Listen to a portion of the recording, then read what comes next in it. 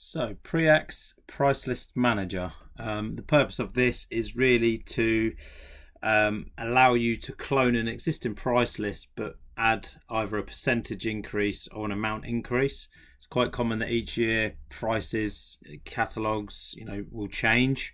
Um, this will just show you how to do it in a couple of clicks of a button really. Um, so you can see here we've got an active price list. I've called this Martin's test list usual, you know, it's got a name against this. I've added a load of price products and price list items. You can see I've given them all a thousand pound price tag just so you can see this change when it goes through.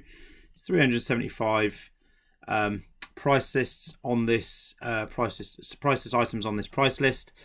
Um, but what we'd like to do is maybe create, uh, you know, a brand new list, whether you create this yourself like this, Martin's uh, list 2020 save that. You can see currently obviously it's a brand new list. There's no price list items on here. But what would be really useful is if I take this existing list um, whether I do it from here you can see you've got the price list manager option in the ribbon here or whether actually on the actual thing itself.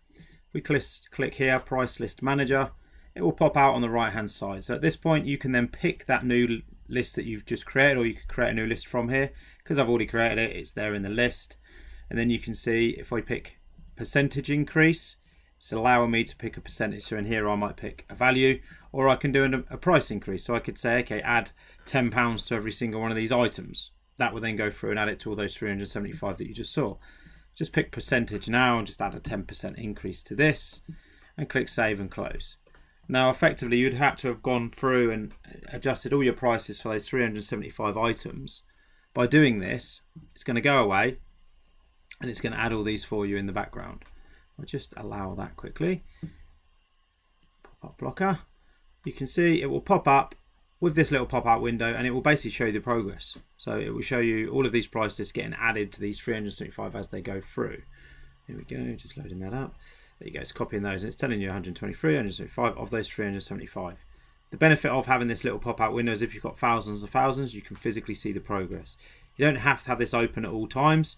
You can minimize this, but as soon as it's done, it will pop up with that anyway to say it's now successfully done that. None of them failed, which is great.